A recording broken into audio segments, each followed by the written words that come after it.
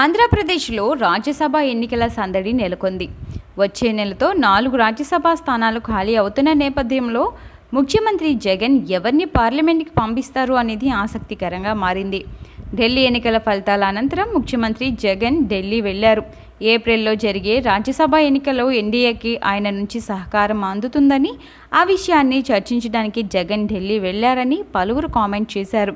ఇద్దరు ఎంపీలను బీజేపీకి ఇచ్చి రాజకీయ ప్రయోజనాలను పొందే విధంగా జగన్ అడుగులు వేస్తున్నారని పరిశీలకులు అభిప్రాయపడుతున్నారు. రాజ్యసభలో తమ సంఖ్యాబలం ఆరుకు పెరుగుతుందని వీరంతా బీజేపీకి అండగా నిలబడతారని అవసరమైతే కొత్తగా వచ్చి చేరే నాలుగో ఎన్డీఏకి రెండు సీట్లు ఇవ్వాలని జగన్ భావిస్తున్నారు. అయితే ఇవి తప్పని వైసీపీ నేతలు అంటున్నారు కాదు. నిజమే అని రాజకీయ పరిశీలకులు అంటున్నారు. వారిలో ఒకరు కేంద్ర మంత్రిగా కాగా మరొకరు బీజేపీ సీనియర్ నేత అనే ప్రచారం జరుగుతుంది. ఇక వైసీపీ నుంచి రాజ్యసభకు వెళ్ళే వారిలో ఇద్దరి పేర్లు ప్రధానంగా వినబడుతున్నాయి.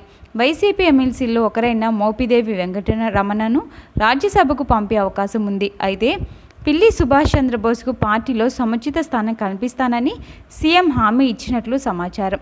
మిగిలిన రెండు స్థానాలు రామ్ దాద్ ఆధావల్లి సహా మరొకరు బీజేపీ సీనియర్ అని అంటున్నారు.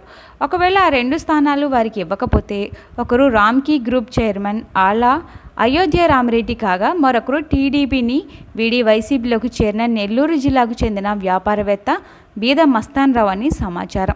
ఆళ్ళ అయోధ్య రామిరెడ్డి రెండు వేల పద్నాలుగు ఎన్నికల్లో గుంటూరు జిల్లా నరసరావుపేట నుంచి వైసీపీ తరఫున లోక్సభ అభ్యర్థిగా పోటీ చేసి ఓటమి పాలయ్యారు. అతి తక్కువ బడ్జెట్లో మీ ఇంట్లో ఎలాంటి ఫంక్షన్ అయినా అద్భుతంగా జరుపుకోండి. మీ స్నేహితులు బంధువులు ఆశ్చర్య